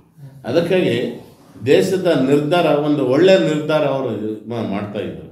ಮತ್ತು ಇವತ್ತು ನಮ್ಮ ದೇಶದಲ್ಲಿ ಎರಡು ಸಂವಿಧಾನ ಅಂತ ಇಟ್ಟಿದ್ರು. ಇವತ್ತು ಒಂದೇ ಸಂವಿಧಾನ ಅಂತ ತೋರಿಸಿದ್ದಾರೆ. ಜಮ್ಮು ಕಾಶ್ಮೀರ ಮುನ್ನೂರ ವಿಧಿನ ಇವತ್ತು ಅದನ್ನು ರದ್ದು ಮಾಡಿ ದೇಶದಲ್ಲಿ ಒಂದೇ ಸಂವಿಧಾನ. ಒಂದೇ ಒಂದು ಸಂವಿಧಾನದ ವ್ಯವಸ್ಥೆಯಲ್ಲಿ ಮುಂದಕ್ಕೆ ಹೋಗ್ಬೇಕಂತಂದೇಳಿ ತೋರಿಸ್ಕೊಟ್ಟಿದ್ರು. ಅವತ್ತು ಅವರು ಎರಡು ಸಂವಿಧಾನಕ್ಕೆ ಆ, ಜಮ್ಮು ಕಾಶ್ಮೀರನೇ ಬೇರೆ. ಅವರು ಅದೊಂದು ಸಂವಿಧಾನ ಅನ್ನೋ ರೀತಿಯಲ್ಲಿ ತೋರಿಸಿದ್ರು. ಇವತ್ತು ಜಮ್ಮು ಕಾಶ್ಮೀರ ನಮ್ಮ ದೇಶದಲ್ಲಿ ಇರೋದ್ರಿಂದ ಆ ಸಂವಿಧಾನಕ್ಕೆ ಈ ಚ ಈ ಸಂವಿಧಾನಕ್ಕೆ ಅಡಕ ಮಾಡಿಟ್ಟರು ಅದನ್ನು ರದ್ದುಗೊಳಿಸ್ತಾರೆ ಅಂದರೆ ಅಷ್ಟು ಒಂದು ದೃಢ ನಿರ್ಧಾರ ತಗೊತಿದ್ರು ನರೇಂದ್ರ ಮೋದಿ ಅವರು. ಮತ್ತು ಅಂಥವ್ರ, ಬೇಕಂತ ನಾವು ನಾವು ಹೇಳ್ತಿಲ್ಲ, ಜನಸಾಮಾನ್ಯರು ಹೇಳ್ತಾರೆ. ಮತ್ತು ಈಗ ನಮ್ಮ ಬಸವರಾಜ ಬೊಮ್ಮಾಯಿಯವರು, ಸಾಮಾನ್ಯ ಮನುಷ್ಯ, ಸಾಮ, ಜನಸಾಮಾನ್ಯರಲ್ಲಿ ಜನಸಾಮಾನ್ಯರಾಗಿ ತಿರುಗಾಡ್ತಾ ಇದ್ದಾರೆ ಬಸವರಾಜ ಬೊಮ್ಮಾಯಿಯವರು. ಇವತ್ತು ನೀವು ಅಲ್ಲಿಗೆ ಹೋದರೆ ಮನೆಯಲ್ಲಿ ಕರ್ಕೊಂಡು ತಿರ್ಗ ಏನಂತ ಕೇಳ್ತಾರೆ. ಒಬ್ಬ ಮುಖ್ಯಮಂತ್ರಿ ಒಳ್ಳೆಯ ಒಳ್ಳೆ ರೀತಿಯಲ್ಲಿ ಅವರು ಭಾಳ ಮುಗ್ಧತೆಯಿಂದ ಮತ್ತು ಸೌಮ್ಯಲಿಂದ, ಶಾಂತಿಯಿಂದ ಅವರು ಭಾಳಷ್ಟು ಒಂದು ವಿಚಾರಗಳು ಅವರು ವಿಚಾರವಾದವರು. ಅವರೇನು ಮಾಮೂಲಿಯಾಗಿ ಬಂದಿಲ್ಲ ಅವರು. ಅವ್ರ ತಂದೆಯವ್ರನ್ನೂ ಮುಖ್ಯಮಂತ್ರಿ ಆಗಿದ್ದರು ಬೊಮ್ಮಾಯಿಯವರು ಇವತ್ತು ಅವ್ರ ಮುಖ್ ಅವ್ರ ತಂದೆಯವರು ಮುಖ್ಯಮಂತ್ರಿ ಆಗಿದ್ದರು ಇವರನ್ನು ಮುಖ್ಯಮಂತ್ರಿ ಆಗಿದ್ದರು ಬಸವರಾಜ ಬೊಮ್ಮಾಯಿ ಹಾಗಾಗಿ ಇವರನ್ನು ಒಂದು ಜನಪರ ಕಾಳಜಿ ಹೊಂದಿರತಕ್ಕಂಥವ್ರು ಮತ್ತೀಗ ನಾವು ನಮ್ಮ ಕ್ಷೇತ್ರದಲ್ಲಿ ಸುಮಾರು ಒಂದೂವರೆ ವರ್ಷ ನಮಗೆ ಸರ್ಕಾರ ಬಂದ ಮೇಲೆ ಗ್ರಾಂಟ್ಗಳನ್ನು ಭಾಳಷ್ಟು ಅನು ಮಾಡಿಕೊಟ್ರು ಈಗ ತಮಗೆ ಗೊತ್ತಿರಲು, ಸಮ್ಮಿಶ್ರ ಸರ್ಕಾರ ಇತ್ತು ಅವತ್ತು ಒಂದೂವರೆ ವರ್ಷ. ಒಂದೂವರೆ ವರ್ಷ ಸಮ್ಮಿಶ್ರ ಸರ್ಕಾರ ಇತ್ತು. ಸಮ್ಮಿಶ್ರ ಸರ್ಕಾರ ಇರುವಂಥ ಸಂದರ್ಭದಲ್ಲಿ ನಾವು ವಿರೋಧ ಪಕ್ಷದಲ್ಲಿದ್ದೀವಿ ನಾವು ಏನು ಮಾಡೋಕ್ಕೂ ಆಗಲಿಲ್ಲ ಆ ಸಂದರ್ಭದಲ್ಲಿ. ನಾವು ವಿರೋಧ ಪಕ್ಷದಲ್ಲಿದ್ದೀವಿ ನಾವು ಏನೂ ಮಾಡೋಕ್ಕಾಗಲಿಲ್ಲ ಮತ್ತು ಇನ್ನ ಒಂದೂವರೆ ವರ್ಷ ಕರೋನಾ ಬಂತು. ಕರೋನಾ ಬಂದಾಗೂ ಏನು ಮಾಡೋಕ್ಕಾಗಲಿಲ್ಲ ಒಟ್ಟು ಮೂರು ವರ್ಷ ನಾವು ಕಾಲ ಹೊಡಿಬೇಕಾಯ್ತು. ನಾವು ಕೆಲಸ ಮಾಡಿದ್ದು ಬೇರೆ ಎರಡೇ ವರ್ಷ ನಾವು. ಬೇರೆ ಎರಡೇ ವರ್ಷದಲ್ಲೇ ಈ ಒಂದು ಅಭಿವೃದ್ಧಿ ಕಾರ್ಯಗಳನ್ನು ನಾವು ಮಾಡಲಿಕ್ಕೆ ಸಾಧ್ಯ ಆಗಿದೆ. ಹಾಗಾಗಿ ಇವತ್ತು ಡಬಲ್ ಇಂಜಿನ್ ಸರ್ಕಾರ ರಾಜ್ಯದಲ್ಲಿ ಇರ್ಬೋದು ಮತ್ತು ಕೇಂದ್ರದಲ್ಲಿ ಇರ್ಬೋದು. ಇನ್ನು ಒಳ್ಳೆ ಸರ್ಕಾರ ಇವತ್ತು ಜನರ ಮುಂದೆ, ಜನರಿಗೆ ಸಹಕಾರ ಕೂಡ ಒಂದು ಸರ್ಕಾರ ಇವತ್ತು ಬಂದಿದೆ. ಈ ಈ ರೀತಿ ಸಹಕಾರ ಸಿಕ್ಕಿರೋದ್ರ ಸಲುವಾಗಿ ಮುಂದಿನ ದಿನಗಳಲ್ಲಿ ಮತ್ತೊಮ್ಮೆ ಸರ್ಕಾರ ಬರ್ತಿದೆ. ಅದ್ರಾಗೇನು ಅನುಮಾನ ಇಲ್ಲ. ಇವತ್ತು ಜನ ತೀರ್ಮಾನ ಮಾಡಿದ್ದಾರೆ ಮತ್ತೊಮ್ಮೆ ಬಿ ಜೆ ಪಿ ಸರ್ಕಾರ ಮಾಡಲಿಕ್ಕೆ ತೀರ್ಮಾನ ಮಾಡಿದ್ದಾರೆ ಅದಕ್ಕೆ ತೊಂದರೆ ಇಲ್ಲ. ಎರಡು ಸಾವಿರ ಹದಿ ಇಪ್ಪತ್ತ್ಮೂರಕ್ಕೆ ಮತ್ತೊಮ್ಮೆ ಸರ್ಕಾರ ಬರ್ತೈತೆ ಅನ್ನೋದು ಭರವಸೆ ನಮಗಿದೆ. ಮತ್ತು ಸರ್ಕಾರದ ಜೊತೆಯಲ್ಲಿ ಸರ್ಕಾರದ ಜೊತೆಯಲ್ಲಿ ಈಗಲೇ ನಮ್ಮ ಒಂದು ಅಭಿವೃದ್ಧಿ ಕಾರ್ಯಗಳು ನೋಡೇನೆ ಜನ ನಮಗೆ ಮತ ಕೊಡ್ತಾರೆ ಅನ್ನೋ ಭರವಸೆ ನಮಗಿದೆ. ನಾವು ಗೆದ್ದೆ ಗೆಲ್ತೀವಿ ಅನ್ನೋ ಭರವಸೆ ನಮಗಿದೆ. ಖಂಡಿತ ಸರ್ ಈ ವಿಚಾರಕ್ಕೆ ಬಂದ್ರೆ ತಮ್ಮ ಒಂದು ಕ್ಷೇತ್ರದಲ್ಲಿ ತಾವು ಆರಿಸಿ ಬಂದ್ರೆ ಮುಂದಿನ ಆಲೋಚನೆಗಳು ಏನೆಲ್ಲ ಯೋಜನೆಗಳನ್ನ ರೂಪಿಸಿಕೊಂಡಿದ್ದಾರೆ ಕ್ಷೇತ್ರಕ್ಕೆ ಸಂಬಂಧ? ಇದೆಲ್ಲ ಹೇಳ್ತಾರೆ ಯೋಜನೆಗಳು. ನವೋದಯ ಸ್ಕೂಲ್ ಇರ್ಬೋದು ಮತ್ತು ನೆಟ್ಟೂರು ಸಿಂಗಾಪುರ್ ಮಧ್ಯ ಮಧ್ಯದಲ್ಲಿರ್ತಕ್ಕಂಥ ಬ್ಯಾರೇಜ್ ಇರ್ಬೋದು ಇಂಜಿನಿಯರಿಂಗ್ ಕಾಲೇಜ್ ಇರ್ಬೋದು. ಇನ್ನು ನಮ್ಮ ಕ್ಷೇತ್ರದಲ್ಲಿ ಹಿರಿಯರು ಅಲ್ಲೇ ನಾನು ಒಂದ್ಸರಿ ಕರೆ ಕೊಟ್ಟಿದ್ದೆ ನಾನು. ಏನಾದರೂ ನಮ್ಮ ಕ್ಷೇತ್ರದಲ್ಲಿ ಏನಾದರೂ ದೊಡ್ಡ ದೊಡ್ಡ ಪ್ರಾಜೆಕ್ಟ್ಗಳು ಇದ್ದರೆ ನನಗೆ ಮಾಹಿತಿ ಕೊಟ್ಟರು ಅದಕ್ಕೆ ನಾನು ಕೈ ಹಾಕ್ತಂತಂದೇಳಿ ಒಂದು ಒಂದ್ಸರಿ ನಾನು ಈ ಒಂದು ಪೇಪರ್ನಲ್ಲಿ ನಾನು ಕೋರ್ಕೊಂಡಿದ್ದೆ. ಜನಗಳನ್ನ ಕೇಳಿದ್ದೆ. ಯಾವ ಪ್ರಾಜೆಕ್ಟ ನಾನು ತೋರಿಸಿರಲಿಲ್ಲ ಯಾರನ್ನು ನನಗೆ ಬಂದು ತಿಳಿಸಿರಲಿಲ್ಲ ಆದರೂ ನನ್ನದಾದ ಇಂದ ಇಂಥ ಒಂದು ಕಾರ್ಯಗಳನ್ನು ಕೈ ಹಾಕಿ ನಾನು ಕೆಲಸ ನಾನು ಮಾಡಿದ್ದು ಮುಂದಿನ ದಿನಗಳಲ್ಲಿ ಏನು ತಾಲೂಕಿಗೆ ಬೇಕು ಯಾಕಂದ್ರೆ ಇದು ಭತ್ತದ ಕಣಜ ಭತ್ತದ ಕಣಜ ಅಂತಲೇ ನಾವು ಅಂತ ಈಗ ಆ, ಮುಂದೆ ಈಗೆಲ್ಲ ಕಾರ್ಟಿಯಲ್ಲಿ ಭತ್ತದ ಒಂದು ಇದಿದೆ. ಪ್ರಾಜೆಕ್ಟ್ ಇದೆ. ಆ ಪ್ರಾಜೆಕ್ಟನ್ನು ನಾವು ಇಲ್ಲಿ ತಗೊಳಕ್ಕೆ ಪ್ರಯತ್ನ ಮಾಡ್ತೀವಿ. ಖಂಡಿತ. ಸರ್ ಈಗ ಯುವಕರು ಮನಸ್ಸು ಮಾಡಿದ್ರೆ ಯುವ ಶಕ್ತಿ ಮನಸ್ಸು ಮಾಡಿದ್ರೆ ಯಾವುದೇ ಒಂದು ಪಕ್ಷವನ್ನು ಅಧಿಕಾರಕ್ಕೂ ತರಬಹುದು ಅಧಿಕಾರದಿಂದ ಕೆಳಗೂ ಇಳಿಸಬಹುದು ಅಂತ ಒಂದು ಯುವ ಸಮೂಹಕ್ಕೆ ಏನೊಂದು ಸಲಹೆ ಸೂಚನೆ ಕೊಡ್ಲಿಕ್ಕೆ ಬಯಸ್ತೀರಾ? ಈಗ ಯುವಕರಿಗೆ ಯುವಕರು ಬಿಟ್ಟು ನಾವಿಲ್ಲ ಸರ್ಕಾರ ಇಲ್ಲ. ಯುವಕರನ್ನ ಜೊತೆ ಜೊತೆಲಿ ಇಟ್ಕೊಂಡೆ ಇವತ್ತು ಸರ್ಕಾರ ಮಾಡ್ತಾ ಇರೋದು. ಹಾಗಾಗಿ ಯುವಕರಿಗೆ ನಿರುದ್ಯೋಗ ಇದೆ ಕೆಲವು. ಇನ್ನು ಉದ್ಯೋಗ ಕೊಡಬೇಕಾಗಿದೆ. ಇನ್ನು ಈಗಾಗಲೇ ಏಳನೇ ವೇತನ ಶ್ರೇಣಿ ಅದು ಜಾರಿಗೆ ಬರೋಂಥ ಬಂದಿದೆ. ಇನ್ನು ಈ ಒಂದು ಬಾ, ಜಾರಿಗೆ ಬಂದಂಥ ವ್ಯವಸ್ಥೆ ಇತ್ತು. ಇನ್ನು ಮುಂದೆ ಅದನ್ನು ನಮ್ಮ ಸರ್ಕಾರ ಏನೋ ಒಂದು ಯೋಚನೆ ಮಾಡಿ ನಿರ್ಧಾರ ತಗೊಳ್ತಿದ್ದೆ ಆ ನಿರ್ಧಾರಕ್ಕೆ ನಾವು ನಮ್ಮ ಆಯ್ಕೆ ಮಾಡಲು ಬದ್ಧ ಇದೆ ಇವತ್ತು ಯುವಕರು ಒಂದು ವಿಚಾರ ತ ತೆಗೆದುಕೊಂಡ್ರೆ ಈಗಾಗಲೇ ಆ, ಸುಮಾರು ಒಂಬತ್ತು ಲಕ್ಷ ಕೋಟಿ ಕೈಗಾರಿಕೆ ಇದರಲ್ಲಿ ಉದ್ಯೋಗ ಮೇಳದಲ್ಲಿ ಕೊಟ್ಟಿದ್ದಾರೆ. ನಮ್ಮ ಇವರು ಮುಖ್ಯಮಂತ್ರಿಗಳು ಮತ್ತು ಮುರುಗೇಶ್ ನಿರಂಡ್ರವರು ಆ ವ್ಯವಸ್ಥೆ ಬೆಂಗಳೂರು, ಈ ಅಂತಾರಾಷ್ಟ್ರೀಯ ಇದರಲ್ಲಿ ಅವರು ತೋರಿಸಿದ್ದಾರೆ ಉದ್ಯೋಗ ಮೇಳ ಅದಕ್ಕೆ ಇಂಥವೆಲ್ಲ ಆಗ್ತಾ ಇದ್ದಾವೆ ಏನು ತೊಂದರೆನೇ ಆಗೋದಿಲ್ಲ.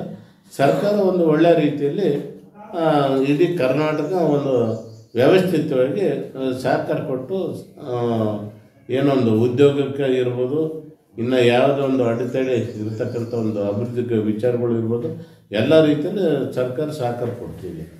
ಸರ್ ಇದು ಯುವಕರದ್ದು ಒಂದು ಆತಂಕ ಒಂದು ಪ್ರಶ್ನೆ ಏನಿದೆ ಅಂದರೆ ಇದು ಚುನಾವಣೆ ಸಂದರ್ಭದಲ್ಲಿ ಮಾತ್ರ ನಮ್ಮನ್ನ ಬಳಸ್ಕೊಳ್ತಾರೆ ಆಮೇಲೆ ಕೈ ಬಿಡ್ತಾರೆ ಅಂತ ಒಂದು ಮಾತಿದೆ ಯುವಕರದ್ದು. ಇದು ಇದ್ರ ಬಗ್ಗೆ ತಮ್ಮ ಒಂದು ಅಭಿಪ್ರಾಯ ಇದೆ ಇಲ್ಲ ಇಲ್ಲ ಇಲ್ಲ. ಇಲ್ಲ. ಅದು ಶುದ್ಧ ಸುಳ್ಳು. ಸರ್ಕಾರ ಪ್ರತಿಯೊಂದು ಅದನ್ನು ಗಮನಿಸ್ತಾ ಇರ್ತೈತೆ. ಎಲ್ಲವೂ ನೋಡ್ತಿದ್ದೆ ಬರೀ ಒಂದಲ್ಲ. ಎಲ್ಲವೂ ಗಮನಿಸ್ತಾ ಇರ್ತೈತೆ. ಎಲ್ಲವೂ ನೋಡ್ತಾ ಇರ್ತೈತೆ ಸರ್ಕಾರ. ಯಾರನ್ನ ಕೀಳಾಗಿ ಕಾಣೋ ಪರಿಸ್ಥಿತಿನೂ ಇಲ್ಲ.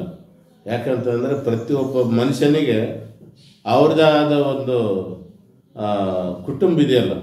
ಆ ಕುಟುಂಬ ಒಂದು ವ್ಯವಸ್ಥೆ ಇದೆಯಲ್ಲ. ಆ ವ್ಯವಸ್ಥೆನ ಯಾವ ರೀತಿ ನೋಡ್ಬೇಕೆಂಬುದು ಆ ಒಂದು ಮನೆಯಲ್ಲಿರ್ತಕ್ಕಂಥ ಯುವಕನಿಗೆ ತಂದೆ ತಾಯಂದರಿಗೆ ಇರ್ತೈತೆ. ಅದೇ ರೀತಿ ಸರ್ಕಾರಕ್ಕೂ ಇದೆ. ಆ ರೀತಿ ವ್ಯವಸ್ಥೆ ಮಾಡ್ತಿದೆ. ಏನು ತೊಂದರೆ ತೊಂದರೆ ಅನ್ನೋ ಪ್ರಶ್ನೆ ಬರೋದಿಲ್ಲ. ದೂಷ ಮಾಡ್ತಿದ್ದೆ ಅನ್ನೋ ಪ್ರಶ್ನೆನೂ ಬರೋದಿಲ್ಲ. ಯುವಕರಿಗೆ ಹೆಚ್ಚಾಗಿ, ಯುವಕರಿಗೆ ಆದ್ಯತೆ ಕೊಟ್ಟಿದ್ದು ಬಿ ಜೆ ಪಿ ಸರ್ಕಾರ. ಖಂಡಿತ ಸರ್, ಈಗ ಕೊನೆಯದಾಗಿ, ನಿಮ್ಮ ಕ್ಷೇತ್ರದ ಜನತೆಗೆ, ನಮ್ಮ ಒಂದು ಮಾಧ್ಯಮದ ಮುಖಾಂತರ, ಹೇಳೋದಾದ್ರೂ ಏನು, ಕೇಳೋದಾದ್ರೂ ಏನು? ಚುನಾವಣಾ ವಿಚಾರವಾಗಿ. ನಿಮ್ಮ ಕ್ಷೇತ್ರದ ಜನತೆಗೆ ಏನೊಂದು ಮನವಿ ಮಾಡಿಕೊಳ್ಳಿ ಬಯಸ್ತೀರಾ ನಮ್ಮ ಕ್ಷೇತ್ರದ ಜನತೆಗೆ ಇವೆಲ್ಲ ನಾನು ಮೂಲಭೂತ ಸೌಕರ್ಯಗಳನ್ನು ಕಲಿಸಿದ್ದೀನಿ ಮೂಲಭೂತ ಸೌಕರ್ಯಗಳ ಜೊತೆಯಲ್ಲಿ ಪ್ರತಿ ನಮ್ಮ ಏನು ಜನಗಳು ಇದ್ದಾರಲ್ಲ ಜನಗಳು ಜನರಿಗೆ ಟ್ವೆಂಟಿ ಫೋರ್ ಇಂಟು ಸೆವೆನ್ ಎಲ್ಲರಿಗೆ ಕಾಣೋ ಒಂದು ವೇಷ ಆಗಿದ್ದೀನಿ. ಮತ್ತು ಇಪ್ಪತ್ನಾಲ್ಕು ಗಂಟೆ ಎನಿ ಟೈಮ್ ನನ್ನ ಮೊಬೈಲ್ಗಳನ್ನು ನಾನು ಆಫ್ ಮಾಡಿಲ್ಲ. ಆನ್ಯಾಗೆ ಇರ್ತವೆ. ಆ ವ್ಯವಸ್ಥೆ ಮಾಡಿದ್ವಿ ಮತ್ತು ಇಪ್ಪತ್ನಾಲ್ಕು ಗಂಟೆ ನಾನು ಬೆಳಗ್ಗೆ ಮುಂಜಾನೆ ಬೆಂಗಳೂರಿಗೆ ಹೋಗ್ತೀನಿ. ಮತ್ತು ಅವತ್ತೇ ನಾನು ವಾಪಸ್ ಬರ್ತೀನಿ. ಅದು ಯಾಕೆ ಬರ್ತೀನಿ ಅಂತ ಅಂದರೆ ಜನಗಳನ್ನ ನಾನು ಕಾಯಬಾರ್ದು. ಜನಗಳ ಜೊತೆಯಲ್ಲಿ ನಾನು ಇರಬೇಕು, ಜನರಿಗೆ ಸಹಕಾರ ಕೊಡಬೇಕು, ಜನರಿಗೆ ಜ, ಸಹಕಾರ ಕೊಟ್ಟು ನನ್ನ ಯಾರು ಕಾಯಿಲ್ಲದಂತೆ ನಾ, ನಾನು ಉಳಿಬೇಕೆಂಬುದು ನನ್ನ ಅಪೇಕ್ಷೆ ಇದೆ. ಆ ರೀತಿ ನಾನು ಮುಂದುವರಿತಾ ಇದ್ದೀನಿ. ಹಾಗಾಗಿ ಇವತ್ತು ಆ ಜನ ನನ್ನ ಬಗ್ಗೆನೂ ಗಮನ ಹರಿಸಿದ್ದಾರೆ. ಹಾಗಾಗಿ ನಾನು ಒಂದು ಹೇಳೋಕ್ಕೆ ನಮ್ಮ ಸಾರ್ವಜನಿಕರಿಗೆ ಒಂದೇ ಮತ್ತು ಹೇಳ್ತಾ ಇದ್ದೀನಿ. ಎಲ್ಲ ರೀತಿಯಲ್ಲಿ ಸಹಕಾರ ಕೊಟ್ಟಿದ್ದೀನಿ. ಸಾರ್ವಜನಿಕರು ನನಗೆ ಸಹಕಾರ ಕೊಡ್ತಾರೆ ಅನ್ನೊಂದು ಭರವಸೆ ಇದೆ. ಎಲ್ಲ ಜನಾಂಗದವರೂ ನನ್ನ ಬಗ್ಗೆ ಗೌರವ ಇದೆ. ಎಲ್ಲ ಜನಾಂಗದವರಿಗೂ ನಾನು ಸಹಕಾರ ಕೊಟ್ಟಿದ್ದೀನಿ. ಅದಕ್ಕೆ ಯಾರು ಹಿಂದೂ, ಮುಸ್ಲಿಂ ಕ್ರೈಸ್ತವರೆಲ್ಲರೂ ನಾವೆಲ್ಲರೂ ಒಂದೇ ಭಾರತದ ಮಕ್ಕಳು. ಅದಕ್ಕಾಗಿ ನಾವು ಎಲ್ಲ ರೀತಿಯಲ್ಲಿ ನಾವು ಸಹಕಾರ ಕೊಟ್ಟಿದ್ದೀವಿ. ಅವ್ರೂ ಸಹಕಾರ ಕೊಡ್ತಾರೆ ಅನ್ನೋದು ಭರವಸೆ ಇದೆ. ಮುಂದಿನ ಒಂದು ಎರಡು ಸಾವಿರದ ಇಪ್ಪತ್ತ್ಮೂರು ಚುನಾವಣೆಯಲ್ಲಿ ನನ್ನ ಗೆದ್ದೆ ಗೆಲ್ಲಿಸ್ತಾರೆ ಒಂದು ಭರವಸೆ ನನಗಿದೆ. ಈ ಬಾರಿ ಚುನಾವಣೆ ಕೈ ಹಿಡಿತಾರೆ ಅಂತ ಭರವಸೆ ಎರಡ್ ಎರಡು ಸಾವಿರದ ಇಪ್ಪತ್ತ್ಮೂರು ಚುನಾವಣೆ. ಖಂಡಿತ ಸರ್. ಇಷ್ಟೊತ್ತು ತಮ್ಮ ಒಂದು ರಾಜಕೀಯದ ಜೀವನ ಹಾಗೂ ಅನುಭವವನ್ನು ನಮ್ಮ ಮುಂದೆ ಹಾಗೂ ನಮ್ಮ ವೀಕ್ಷಕರ ಮುಂದೆ ಹಂಚಿಕೊಂಡಿದ್ದಕ್ಕೆ ತುಂಬ ಧನ್ಯವಾದಗಳು. ತಾವು ಕೇಳಿದ್ರಲ್ಲ ವೀಕ್ಷಕರೇ ಬಳ್ಳಾರಿ ಜಿಲ್ಲೆಯ ಸಿರುಗುಪ್ಪ ವಿಧಾನಸಭಾ ಕ್ಷೇತ್ರದ ಮುಂದೆ ಬರ್ತಕ್ಕಂತಹ ಎರಡ್ ಸಾವಿರದ ಇಪ್ಪತ್ತ್ ಮೂರರ ಸಾರ್ವತ್ರಿಕ ಚುನಾವಣೆಯ ಬಿಜೆಪಿ ಪಕ್ಷದ ಅಭ್ಯರ್ಥಿ ಹಾಗೂ ಈ ಕ್ಷೇತ್ರದ ಶಾಸಕರಾದಂತಹ ಸನ್ಮಾನ್ಯ ಶ್ರೀ ಎಂ ಎಸ್ ಸೋಮಲಿಂಗಪ್ಪ ಅವರ ಮಾತುಗಳನ್ನು ತಾವು ಕೇಳಿದ್ರು ಇಂಥ ಒಂದು ರಾಜಕಾರಣಿಗಳು ತಮ್ಮ ವೈಯಕ್ತಿಕ ಜೀವನವನ್ನು ಸಹ ಮರೆತು ರಾಜಕೀಯಕ್ಕೆ ಬಂದು ಸಮಾಜ ಸೇವೆ ಮಾಡ್ತಾ ಇರ್ತಾರೆ. ಇಂಥವ್ರನ್ನ ಗುರುತಿಸಿ, ಪರಿಗಣಿಸಿ ನಿಮ್ಮೆಲ್ಲರ ಮುಂದೆ ಇಟ್ಟಿದ್ದೇವೆ. ನೆನಪಿರಲಿ ವೀಕ್ಷಕರೇ, ಆಯ್ಕೆಯು ನಿಮ್ಮದೇ, ನಿರ್ಧಾರವು ನಿಮ್ಮದೇ. ಭರವಸೆ ಮಾತ್ರ ನಮ್ಮದು ಅಂತ ಹೇಳ್ತಾ ಮತ್ತು ಚುನಾವಣಾ ಸಂದರ್ಭದಲ್ಲಿ ತಪ್ಪದೆ ಮಾಡಿ ನಿಮ್ಮ ಹಕ್ಕನ್ನು ಚಲಾಯಿಸಿ. ಜೈ ಹಿಂದ್, ನಮಸ್ಕಾರ.